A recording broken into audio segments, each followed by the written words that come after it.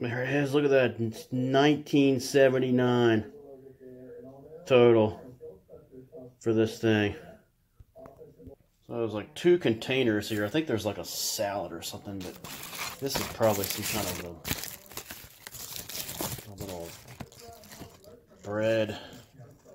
I don't know the meaning of that. Oh my goodness. I'll have to highlight this later, but there's the steak, the chicken, the chorizo, the shrimp, some kind of onion.